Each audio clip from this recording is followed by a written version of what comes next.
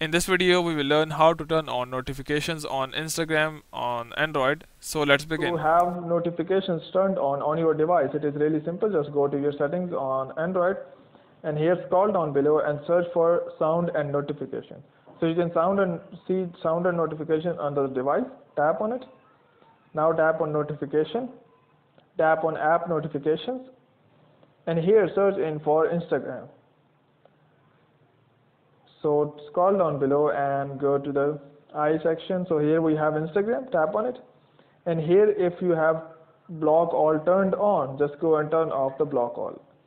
So once you turn uh, off the block all, your notifications of the Instagram will be turned on.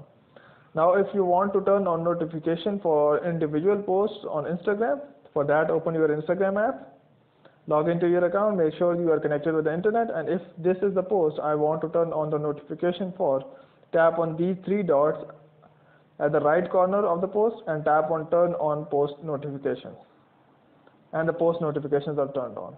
So hope it would help you but before you go please like, subscribe and share. Thank you.